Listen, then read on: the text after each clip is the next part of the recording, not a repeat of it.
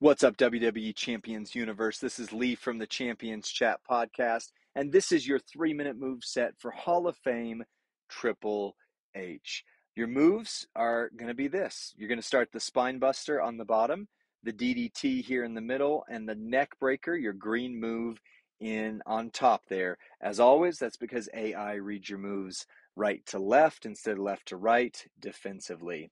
Entourage, you're going to start with some extra MP by putting Kofi in there. You've got Motu Goldberg for yellow gems doing 12k more damage, Yokozuna for reinforced gems doing 100% more damage, and Hall of Fame Undertaker for 12k more damage. The big trick to him, I don't have gear by the way. Gear doesn't actually help this move set anyway, so that doesn't matter. The big trick is the Piper's Plate.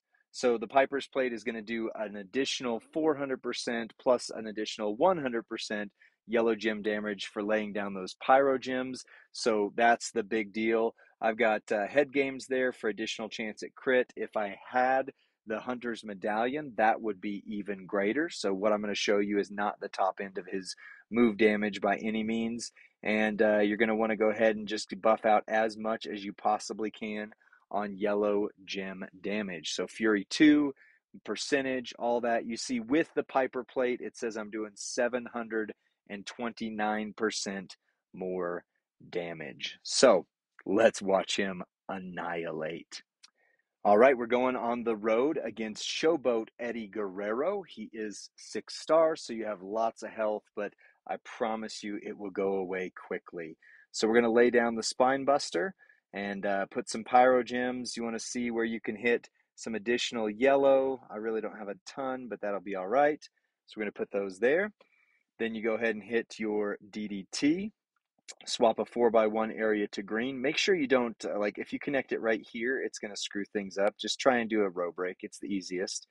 Uh, you do have a chance to cascade occasionally. It can happen, still the best way to go and then you're going to hit the neck breaker and he is going to melt.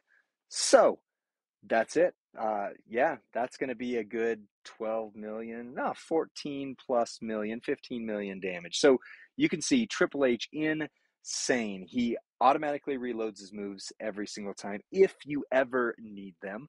Uh, reinforce and yellow gem boss battle. This guy is going to melt the boss. And uh, he's amazing in feud because his moves are all low charge. He's a movie, uh, amazing in stip tours. I mean, really, if you have Hall of Fame Triple H and you grab that Piper's plate when they had the mess, mess up a while back, you are sitting pretty. Just use him, melt everyone. And that's it. That is your three minute uh, move set on Hall of Fame Triple H. We're going to get some more out here, so be sure and like, share, and subscribe so you and others can find this helpful content. And we will see you next time.